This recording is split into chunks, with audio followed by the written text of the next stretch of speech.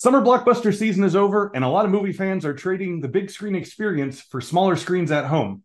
But whether your screen of choice is your computer, tablet, phone, smart TV, or even your internet enabled popcorn popper, InfoSec wants to make sure that you secure your screen. That's why we've created the free Secure Your Screen Toolkit to produce and direct you and your employees during National Cybersecurity Awareness Month.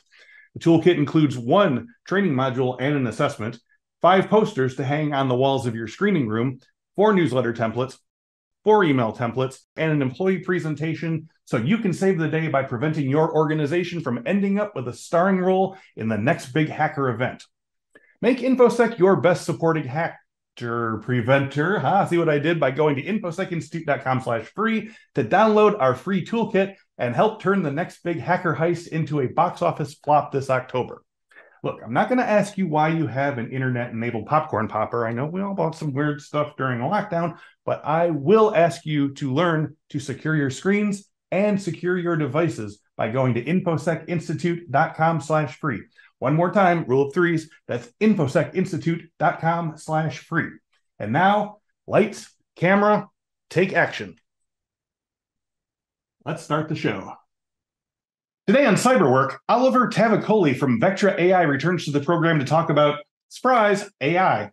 Uh, having talked about Oliver's origin story on his past episode, we're free to dig right into the main areas of interest, which in this case are the ways in which generative AI can be used by bad actors, whether introducing conflicting messages into GPT guardrail commands or escalating the nuance and complexity of fake based social engineering attacks. We talk about the long term implications of this emerging tech opportunity and some ways for new professionals to get comfortable with its requirements quickly. Also, Oliver lets us know that this summer of AI uh, will mean a lot for this coming couple of years, but also why its endless innovations may cool and plateau for a few years. And that's okay too. A lot of good, juicy topics are covered here and very timely too. So that's all today on Cyberwork.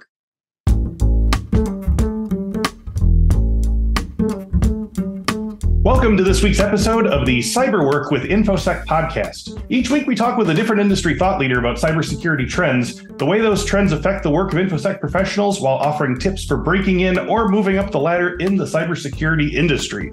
Our guest today, Oliver Tavakoli, is the Chief Technology Officer at Vectra. Uh, Oliver is a technologist who has alternated between working for large and small companies throughout his 25 year career. Uh, and he's uh, current, clearly doing the latter right now. So prior to joining Vectra, Oliver spent more than seven years at Juniper as chief technical officer for the security business. Oliver joined Juniper as a result of its acquisition of Funk Software, where he was CTO and better known as developer number one for Steel Belted Radius. Uh, prior to joining Funk Software, Oliver co founded Trilogy Inc., and prior to that, he did stints at Novell, Fluent Machines, and IBM. Oliver received an MS in mathematics and a BA in mathematics and computer science from the University of Tennessee. Uh, so today we are going to be talking about the, the, the two letters that are on everyone's uh, lips this year AI, and specifically uh, some of the new uh, risk uh, patterns that have opened up with generative AI. So, Oliver, welcome back to Cyberwork. Thank you. Good to good to be here. Thank you. So, um, yeah, as I say, I previously talked to Oliver on the Cyberwork episode titled Cloud Security Best Practices and Career Tips way back in September of 2020. So, uh, anyone who's newish to the show, I encourage you all to check that out and get Oliver's full cyber uh, history and backstory. But, um, you know, as an intro this time around, I'd like to ask about Vectra AI, uh, where you've been CTO for 10 and a half years. So, uh, I'm sure a lot has changed in that time, but for our purposes, what are some of the big changes since 2020 for Vectra AI, especially considering some of the big changes technologically and procedurally that AI has taken in the last year or two? Yeah, I think um, you know we we've been on this AI journey, on a different kind of AI journey for for ten years now, um, and, and uh, you know I kind of like to describe the difference to a certain degree between discriminative AI versus generative AI, right? And okay. So on the discriminative front, you're trying to tell good from bad, right? Discriminate, you know, what is yeah. good, what is bad. Um, that can apply to all kinds of fields like endpoint, where you look at malware and trying to decide good from bad without having uh, previously seen the, the bad. Okay. Uh, and certainly for us, it's been around uh, attacker behaviors. So once an attack is active, can we tell the, the, the signal from the noise to a certain degree? So we've used that for a while. We've continued to evolve uh, the sophistication of the methods that we use for that. Uh, and we've continued to kind of evolve our platform to be more in line with what people today are call, calling XDR, which is can mm-hmm. you do detection and response? X being the you know kind of the asterisk extended across yeah. a number of different attack surfaces. Now, I think over the past year, what has certainly come into the fore is this notion of generative AI. Uh, obviously, uh, it has taken uh, mainstream media by storm. Yeah. Uh, I think what you tend to see in mainstream media sometimes is uh, is sensational on both ends of the extreme. You know, uh, it will be the end of the world on the one end of the extreme, and it will solve world hunger on the other end of the extreme. Yep. And yep. of course, the the answer is that the, the the, the true answer lies somewhere in between, and it really becomes key to think correctly about the technology and what it can do. Um, in the cybersecurity world, it basically means that you you have a few things that you want to think about. One is how are attackers going to use it? That's one thing, like to make themselves more efficient. Okay. Secondarily, how are attackers, this is kind of a hybrid, how are attackers going to attack the LLMs that organizations deploy? So you basically take ChatGPT and you deploy it for a solution. Mm-hmm. The mere the, the mere fact that it exists as part of that solution means that uh, it can now be potentially a vector for an attack. Right.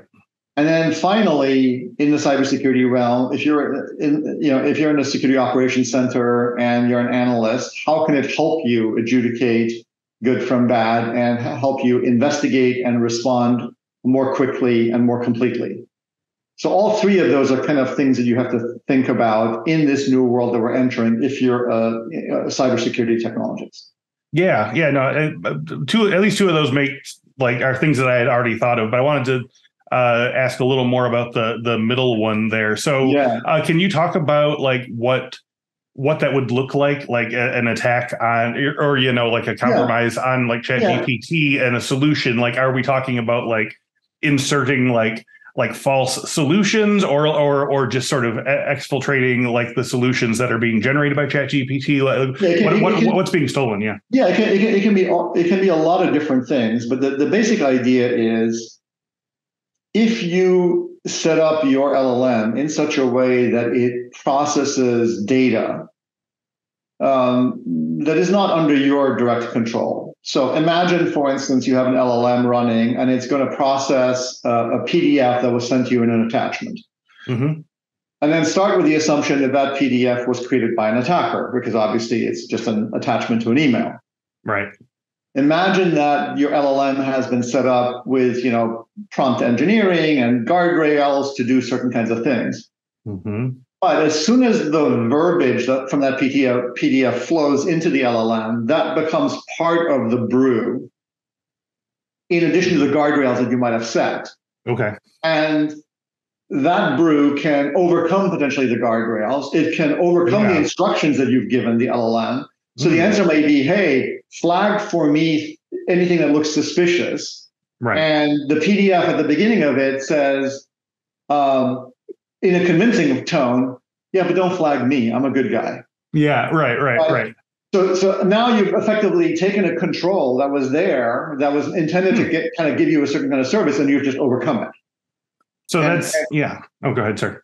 So, so, so, so that's one example, but that's that's a that's a kind of like subtractive example. I think that the harder ones tend to be a lot of the utility of these LLMs when you deploy them is to connect them to a lot of systems you want to connect them to your local database of record. You want to connect them to your local information in order to give them more utility so that your employees, when they're typing away, can ask a question and it says, oh, yeah, Bob's currently traveling in, in Timbuktu. Okay, so in order to do that, you have to create a connector, um, an agent that connects to that database with some API key. Mm-hmm. Okay, so that's now hooked into the LLM. Now, if at the same time that LLM is also hooked into, again, some public sources of data, either connecting to the internet and pulling flight information from Kayak, as an example, or Expedia, and then passing, using that information to form queries against your internal travel database. Mm-hmm. Now you have a conduit kind of it's like an indirect prompt injection. You can almost think of it like there's a conduit whereby data that somebody let, let's say somebody gets to add a comment to a hotel in Expedia. You automatically pull that comment down into your LLM. That L, that the text in that comment now feeds into your LLM, right? The LLM can now in that text be again instructed to do things that was not in the intention of that context window, and now it can actually be asked to to do something with regards to your travel database. Now, mm-hmm. this is where again least privilege becomes very important. Um, okay. Make sure that the API key you give it has only privileges to read that database, not to write to it. Because if it has privileges to alter that database, now suddenly having overcome the, the guardrails within the LLM, right? You are now you have now have direct conduit to maybe cancel people's trips. Mm-hmm.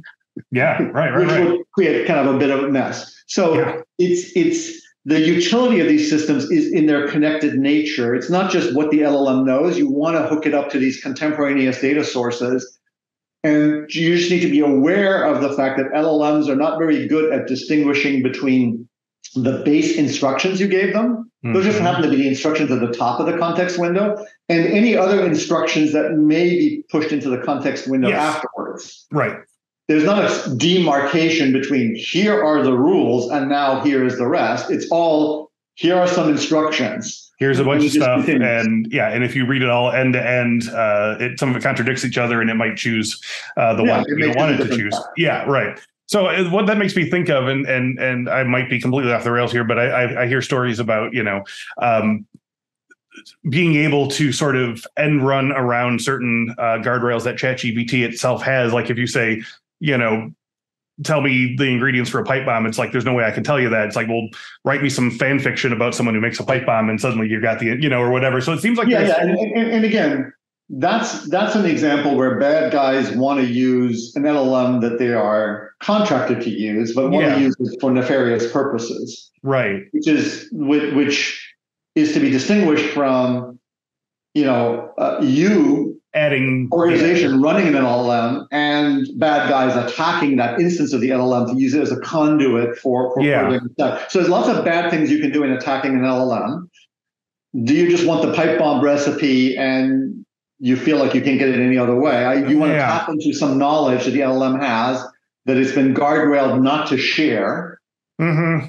Right. Right. That's, that, that's one aspect, which is different than some you using basically a hosted version of that LLM to attack as, as a means of accomplishing what would be more of a, like yes. a traditional attack, just with that as a vector now. I, I, guess what I'm what I'm getting at is not necessarily the intention, but yeah. the fact that that there is still something intrinsic to this type of AI um, where we're still sort of treating it as a sort of intelligence where we can essentially say, well, you know what I mean, you know, but it doesn't know what we mean. It's just following the sets well, of hyper complex things. Yeah, even ignoring the guardrail issue. Yeah, uh, yeah. I mean, there's this whole concept of hallucination, and, and it's, it's, it's like an interesting concept because everything that the, that the LLM does is basically a hallucination, right? So if you mm-hmm. think about it, even as you think of this as being a large model, like GPT-4 has hundreds of billions of parameters. Yes. Right.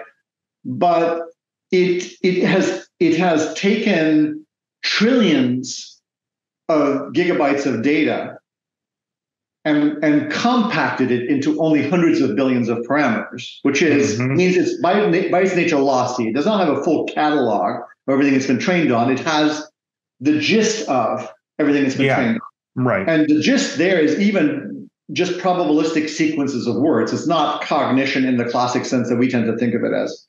So um, if it in let's say it took all of Chris Sienko's writings over Chris's entire lifetime, right? Mm-hmm. And it builds that into the model, not by having a catalog of, of those things, but it's just like, oh, Chris uses these words in conjunction with these words and these right. words in conjunction with these words. Now, let's say we start with that and we ask it a question that has never been asked of Chris and that Chris has never expressed an opinion on. Right. Now, when it gets it right, Chris is like, this is like a parlor trick. Yeah, I've never expressed that thought, but it got it right. Yeah. When right, it gets right. it wrong, it's called a hallucination. Both of them are hallucinations. It's just one is a right hallucination and one is a wrong hallucination. Right. Yeah, it's kind of like all the uh, uh, the coincidences you see versus the ones that you don't, or the non coincidences that you don't note, and things like that. So, so yeah, it's it's it's the sort of stopped clock that keeps the right time twice a day, sort of thing. Like, Yeah. Um, So so yeah. so never never view the the system as an oracle of truth. I think the other the no, other no, yeah, and yeah. I, I guess I, I'm also just thinking in terms of um, just the way that it's it's built, such that you know people are still thinking of it, as you say, as an oracle of truth, and that we're sort of interacting it because I think everyone wants it to kind of actually be intelligence. That there's still a lot of interacting it like it is intelligence rather than as a tool. But but even let's assume for a second it was intelligent. yes. There's, there's another kind of secondary problem. Let's say you went out there and you talked to a bunch of chefs Mhm. about how to make a perfect omelet. And let's say 60% of them came down on the side of very high temperature pan, very quick process, you get it out, fluffy, perfect. And 40% of them said low temperature, allow the curds to build up, allow a creamy texture to build up. Yep. Okay. Now the question is, what is the truth about making the perfect omelet? Right. Right. I- there is really not a truth. And, and so you could Yes. then design a system that would throw away the 40% and never expose you to the 40% Mhm. And only show you the 60%. Right. Which would be kind of like, well, that wouldn't be like talking to a collection of human beings, which the LLMs are meant to kind of approximate. So what does it do? 60% of times it gives you one, 40% of the time it gives you a di- different one, which Mhm. basically means there is really no truth. This is one of the reasons why you have variability in responses. It's to expose you to the totality of Yes. knowledge, which is by definition not a single unified truth about every subject. Yeah, yeah, no, I- that makes that makes sense. So yeah, I mean, um, so you you've you've sort of uh, done a nice job of explaining what the, especially the sort of angle of being able to add um, conflicting information into a set of guardrails and so forth. So what what are what are some of the um, I I don't know if solutions is the right word because, as you said, there maybe not necessarily like a, a central answer to these questions. But um, as as these problems begin to proliferate, what are some of some of the the ways that you see to sort of um, stem them? Yeah, I think I think there just needs to be a lot of awareness. So, so partially um, on the security side, le- use least privilege. Be aware of what Mhm. plugins you're running. Be aware Right. of what if you're accessing a public data source, treat it with a degree of distrust, um, even if it's something that you're paying for. Because again, it can be a paid service. I can pay for Virus Total and have a commercial service for it. But let's not be confused. The submissions into Virus Total are public submissions. And so the notion that a bad guy can submit something into Virus Total and coax me to download it is Mhm. totally believable, even if it's a commercial service. Yeah, So how what controls exist on the data that you pull in and the data you expose, and then be very cognizant of least privilege with regards to what the system does in terms of what what things you hook it up to. okay, Um, so that's on the protective side. View the view your guardrails as imperfect at best. I think these are I liken them to instructions you give to a five year old. Hey, don't talk to strangers. yeah, It's like when a stranger says, "Hey, here's some ice cream." Uh, it's like, okay, I'll talk to the stranger, right? right, So it, it, it it is it is the guardrails themselves are in you know in, in instruction. Well, the guardrails that the customer implements are in instructions. The guardrails obviously that OpenAI and others in, implement are are somewhat deeper um, and and are a little supposedly harder to overcome. Again, techniques have emerged on those things. okay, I think the more interesting question is um, for the other two items that we talked about, attackers using um, uh, LLMs and, and, and, and generative AI to improve their odds. right, Um, it's going to become very hard. Again, the degree of skepticism that you now have to begin to have to have around um, email phishing and uh, voicemails that are left for you, which can now be modulated to sound like Sound like, like your boss. Yeah. Um, uh, you know, those things make it that much harder um, to to spot the fakes. Yeah. Because if I if Chris again, if you're a relatively public figure and you're and you're tweeting about your travel and all this other kind of stuff, and I can use that information to contemporaneously produce an email that looks like it came from Chris that refers to things that are actually things that are happening to Chris right now, and send it to somebody, it's more believable that it's from Chris, right? We're used to kind of the malformed, bad grammar, out of context, yes. you know, but that stuff is just going to get better. And so we have to mm-hmm. think about what those controls are going to, what, what controls we have in place to, again, put additional um, controls in place because basically uh, social engineering is going to get more effective. It's just a matter of fact. So it is. that means your initial preventive layer is going to be become less porous, which basically means you're going to need to have stronger resilience behind that to look for weird stuff that happens. Mm-hmm. Um, on the defensive side, I think we need again. You can declare LLMs not to be ready for SOC, um, but then you're just just you, you, know you're choosing to go down the pacifist route while you have an attacking army. Uh, yeah. yeah. So, so, choosing to sit this one out is not really a, a thing, but you have to be yeah. smart about utilizing it in a way where you can overcome some of the it's it, the hallucinations and other things. It's like there's a lot of cybersecurity knowledge built into ChatGPT 4.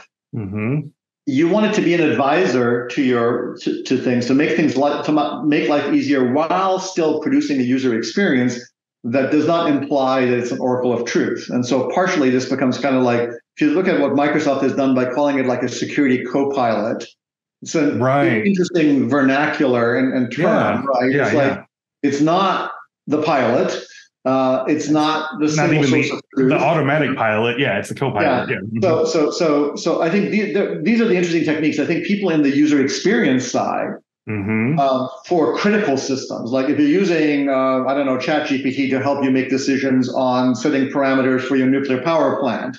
Yes. Uh, or or for your air traffic control system or for your cybersecurity operations, you're going to have to get the user experience right, where there's a degree of you know, usefulness, but a degree of skepticism to how the end user kind of interacts with it and does not assume that it's complete.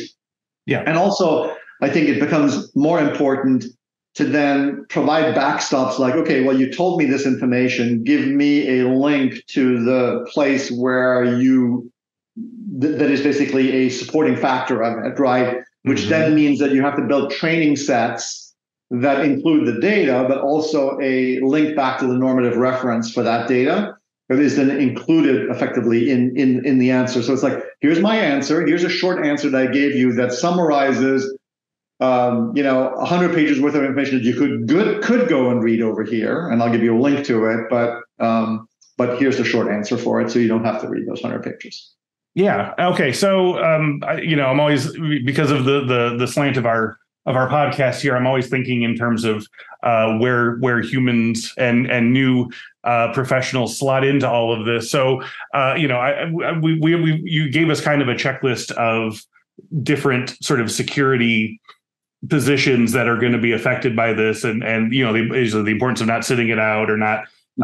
Uh, playing the pacifist role or whatever. So obviously, like you said, uh, security awareness training is going to have to get more nuanced and more sort of extensive, but also, um, uh, you know, like you said, using it in, in the SOC and stuff is going to be more more important. Can you talk about some of the ways that the specific issues and solutions that you're talking about are going to affect uh, cybersecurity professionals, say in the next five years, who are just sort of getting into the industry now? What are some things yeah. they need to be learning immediately that uh, they might not have known that they needed to know about a year ago? Yeah, I think again, um, there's there's going to be a shift, particularly on the side of carbon-based life forms, like human beings, right, and the vulnerabilities that they represent in terms of their judgment, which is around you know security awareness training. It doesn't really matter how much security awareness training you produce at this point; that's going to become more leaky. Mm-hmm. For the simple reason that if I basically train you to the point where even a legitimate email from your boss looks suspect, mm-hmm. now you're losing all kinds of productivity right? So there's this balancing act between getting to the point where things that are, that are entirely believable are, are treated as suspect. Um, so there's only so far you can go because at that point you question everything and you put everything in your spam folder.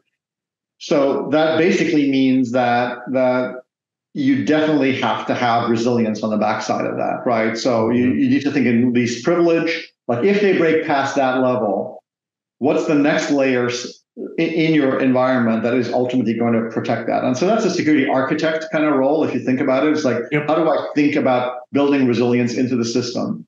Um, how do I put checks and balances into the system? How do I force the user to potentially acknowledge something? And, and you, will get more prompts. I mean, it's it's like in the MFA world. You will you will end up getting more prompts in your yes. authenticator app and whatever else that says, "Is that right. really what you intended to do? Mm-hmm. Is this really what you intended to do?" So stuff like that will definitely kind of occur.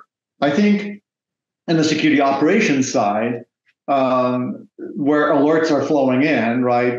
Uh, I think this technology ultimately will help a lot with the alert fatigue. It will help in, at two levels. Okay. Mm-hmm. It will help both in terms of summarizing information and for you um, being able to potentially query different systems that have very different schemas and different query languages and even different units of measure. You know, like one system will say, this is the number of kilobytes transferred, and the other system will say this is the number of bytes transferred. And it's like, okay, now I got to get these numbers to actually align and compare yes. and stuff like that. Sure. So LLMs are good in terms of you can explain things to them. You can sit them down like a child, explain things to them, and they will then understand those formats and convert between them and, and do all kinds of stuff for you. So a lot of the drudgery uh, can come out of it. I think the other element of it, which is really around SOC automation, it, it's like if you thought about SOARs in the past and like like just work basically automation of things where you want to memorialize a certain decision and and into the future execute on them. Uh, these these LLMs and generative AI is good. They're good at generating code, and and basically automation is just a script. And where there has been a lot of friction, in fact, is trying to get the humans to write the script in precisely the right way. Well, what if you could just say to the LLM, hey, anytime a machine belonging to someone in business unit A transfers more than four gigabytes of data in a four hour span, I want you to activate a second MFA factor. So you just say this in English, right? And whatever the mm-hmm. backend language needs to be for that to actually happen, you can imagine the LLM writing the code for it. Now, what you don't want to do is you don't want LLMs to run automatically automation in their current yeah. state because then that's called Skynet, and uh, you know then you get a whole bunch of movies. Right. Um, so since you don't want Skynet, what you really want the LLM to do is to produce the script for you, show it to the to, to the analyst or security architect, and say, here, well, here is my codification of what you just said. You look at it, you go, yep, right, right, right, right, right. Okay, commit. And so subsequent to this, that automation will run not at the behest of the LLM. It'll run at the behest of the system. Mm-hmm. But the LLM was a co-author of that script, along with the analyst or or architect who basically partook in that process. Um, sort of based on this, uh, uh, again, this feels like kind of like a new paradigm for some pretty common security processes. Um, what would you say to people who are just getting started in terms of what they thought they would be doing in their security roles versus stuff like this? Like, how do you, you know, if, if you know that there's certain things you thought you were going to have to be doing, you know, quote unquote, by hand, and now is going to be sort of, uh, you know, automated for you to evaluate and and commit to and stuff like that. Like, how does that? How does that change the sort of like arc of what like uh you know an entry level security position will look like? Yeah, I think I think it, it will mean that you know your initial bootstrapping into the role and becoming effective will be more quick because yeah. you're not learning all these different dialects and all these different terms and stuff like that. Um, and and when you do have questions, you can just ask the LLM to explain it to you. Mm-hmm. So you have like this this this learn you know LMS this learning learning system that's basically just there that's got this information that you can kind of just interact with in natural language. It's like yeah, I don't understand that. Explain it to me. Right. Mm-hmm. Uh, mm-hmm. So I think I think it'll help people learn faster. It'll it'll it'll lower the friction of them being able to interact with data sets and tools and other kinds of things like that. Um, I think it puts, quite frankly, just more of um, a premium on critical thinking. Right? Can yes, you right. form a mental model of what an attacker might be trying to do, um, and then form the right sets of questions Yep. That help expose whether it's you know blue pill or or or red pill, right? It's like did it go mm-hmm. left or right at this fork mm-hmm. based on what I know. So I think less of a less of a premium on just knowing a lot of detailed information about how to you know code up this SQL command or um, you, are a Splunk query aficionado, or you know you know exactly what you know Zeek format for for network data metadata is.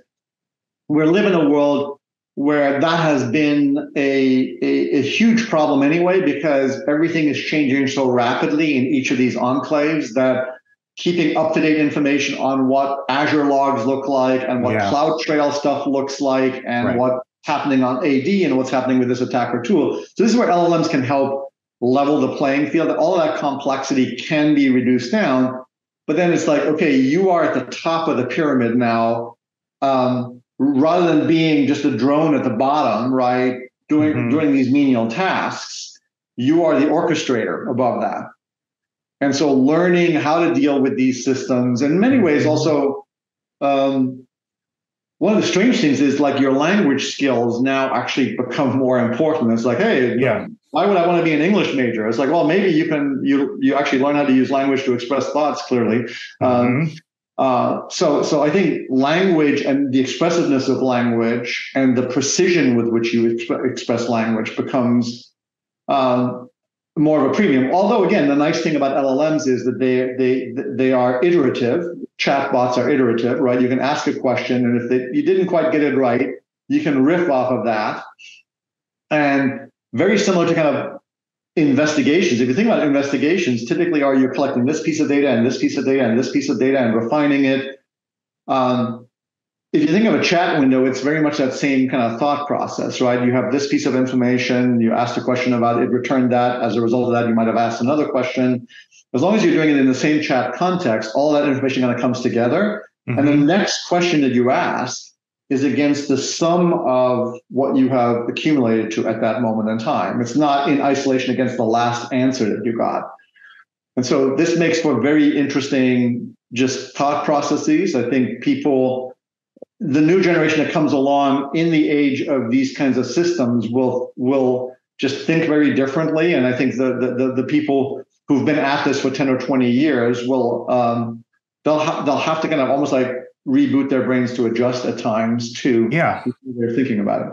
Um, just to, and uh, I hate the phrase "devil's advocate" or whatever, but like just to sort of uh, think through that, is there anything lost by not having that that sort of like deep multi-year knowledge of all of these specific sort of coding workarounds and things like that is is that really yeah yeah I mean, is, is there something lost in that? And, and and is there any benefit to sort of like knowing that stuff you know in theory always, anyway even if you're not going to be using as much? There always there's always something lost right? I mean it's mm-hmm. like but but but this is like uh, in general if you look at technology and and uh, and, and, the curve of technology, it, it just it changes in these ways. You can always yes. lament things, right? Um, you know, it used to be you could look at a car engine, right, and figure out what the hell was going on on it, right? Right. right. And, and, and somebody who has deep knowledge in car engines, even as they became more mechanized, as, as you had to plug them into diagnostic systems in order to get kind of get things, still had an intrinsic knowledge about how the car worked. And yeah, that sounds like it's an alternator or a carburetor or something like that, yep, right? Yep. But the cost of attaining that that mastery juxtaposed against the the ability to kind of get a you know a, a subset of that mastery by just plugging it into a diagnostic port. So you can mm-hmm. lament the fact that the new kids don't know how an engine actually runs. They just like the new mechanics just plug it in and then replace the part. And so I think we will always lament the fact that a certain craft and a certain art. I mean, I, you know, like like a lot of people uh, during the pandemic, I've gotten back into like, okay, I'm my own sourdough starter. I'm making my own bread. This artisanal thing, right? And it's like, yeah, you can lament the fact that that's lost, but it's like compare that to the okay, I have a life and I have to go buy a loaf of bread to feed my family. Do I really want to spend, um, you know, 24 hours making a loaf of bread? Yeah, um, I'm. I, I guess I'm not really speaking as much about the loss of the artistry of it so much as you know one of the things we hear so much about uh, what separates a good entry level professional from a mediocre one is their being able to explain why they did what they did in a pro even if the problem isn't solved correctly we want to be able to see your thought process and if mm-hmm. we're taking away a lot of the actual sort of work process of it are they still going to be able to say well this is what i did and not just I flip this yeah. switch and then this happens. Yeah, it's just, it's just, a different altitude, right? These are the mm-hmm. questions mm-hmm. I asked and why is different right. than these are the commands that I ran and why, right? Sure. I think okay.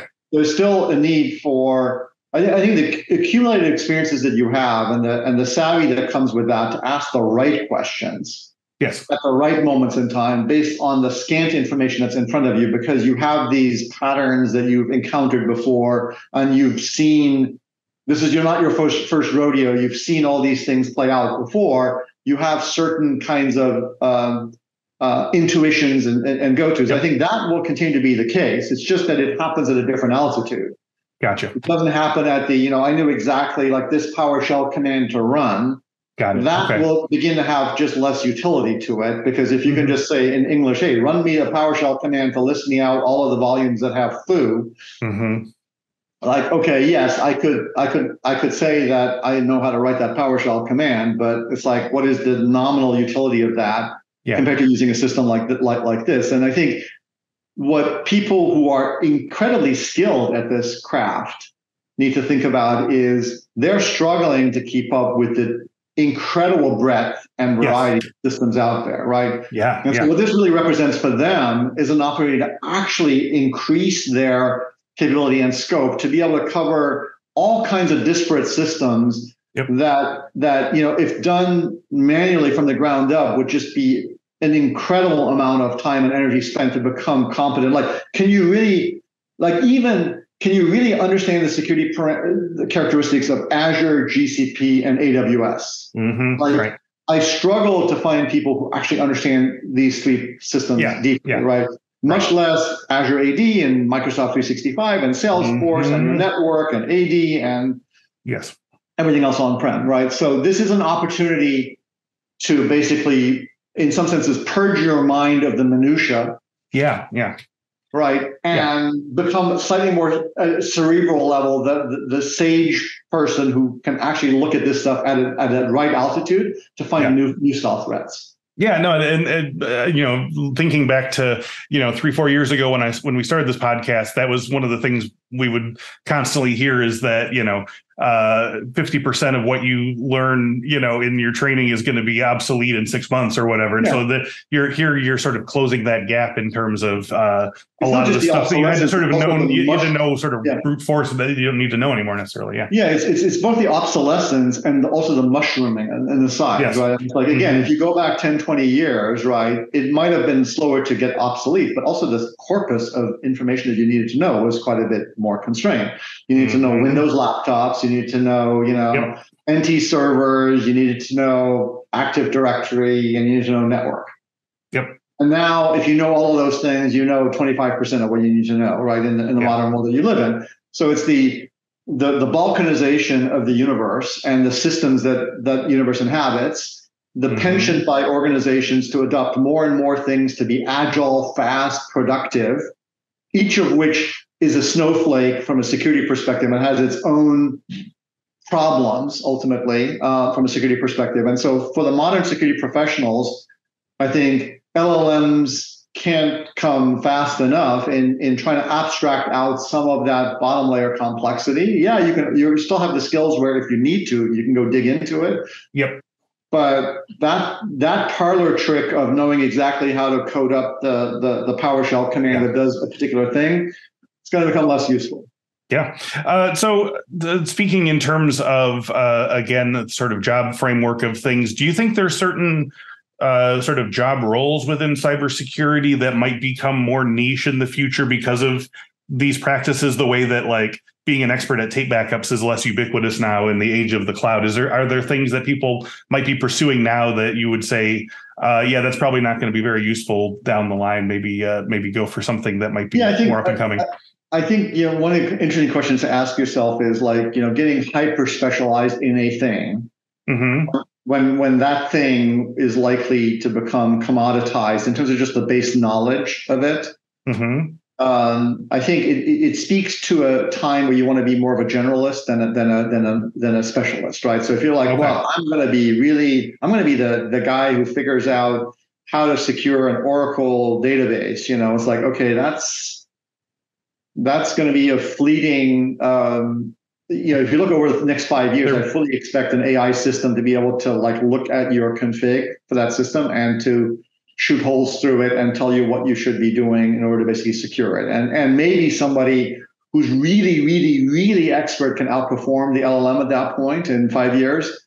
But it's at the margins. I mean, it reminds me of the, you know, one, one of the reasons uh, Starbucks ultimately went with like fully automatic espresso systems. It's not that, you know, a really good barista could not outperform the quality of coffee uh, of an espresso shot that's pulled by those machines. It's just that nine, it, it outperformed 90% of their employees, right? And mm-hmm. so do you do you make things better 90% of the time right? Right.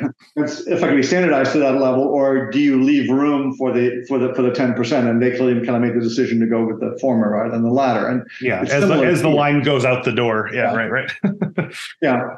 Yeah so um uh, as we um, start to wrap up today, uh, I wanted to maybe uh, talk a little more philosophically. I mean, again, like I think, th- did you guys have a sense that that th- this feels like the year of AI. Everyone's talking about AI this way, that way. I mean, it's obviously been happening for years now, but did you see any particular signs that this was going to be the year that we all like got on board with it? And if so, uh, no, yeah. any, anybody tells you they saw the AI, generative AI revolution coming uh, is probably blowing smoke. Um, yeah. I think it became evident, certainly as you started playing with GPT 3.5, it became evidence like, huh, this is because one of the strange things that happened is that there was this theory that said if you make a large language model large enough, it might impress you. I'm just using technical jargon now, right? And sure. or then maybe the law of diminishing returns, right? So what is it going to be? Is it like if you if you scale it, does it start to plateau in capability, or if you scale it beyond a certain point, does it suddenly go exponential? Mm-hmm. Well, it turned out it went exponential right? And, but but how many people knew that? Um, not that many people. The people that pursued that pursued that as a bet, not as a known thing.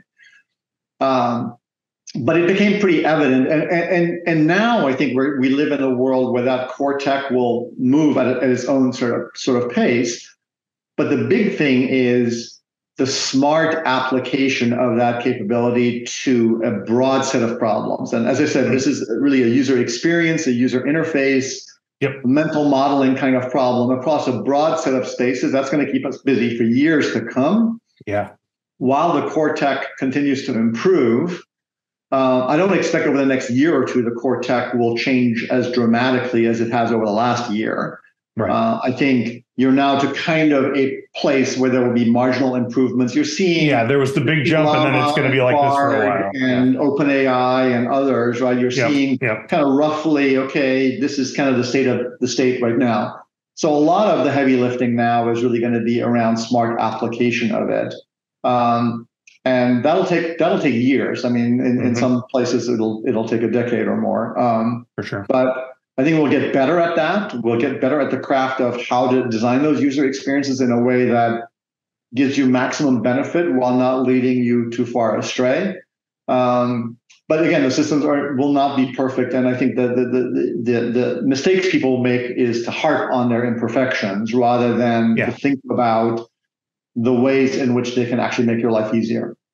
Yeah. Okay. Well, to that end, uh, you know, we we touched on it just for a, a, second there. Like you said, the the some people are are in this extremity of like AI will destroy humanity, and others are saying AI will become the new utopia and stuff like that. Do you? Is there any recommendation you have in terms of the way we talk about this stuff? Because I, you know, it does seem like people's sort of uh, knee jerk mental response is either camp A or camp B, and and I still think that it might be upon you know our industry maybe to uh, sort of change the way that people think of it as, as either being yeah, you know, a, a, savior or the angel of darkness you know? For those of us who have spent enough time reading about this these topics and digging into them i think it's just incumbent upon us to have th- these kinds of conversations to to demystify what what these things are what they're good at what they're bad at. Like i'm i'm i'm traveling to europe this weekend. I have a couple of customer uh, events, one on Tuesday in Zurich, one on Thursday in Hamburg, Germany. Mm-hmm. And basically, what I'm what, what, I'm what I'm presenting on is LLMs, threats and opportunities, right? And mm-hmm. disconnected really from from our product, but just talking about it in terms of like what are they, what can they do, what are they good at, what are they bad at, How will attackers use them? How will defenders use them?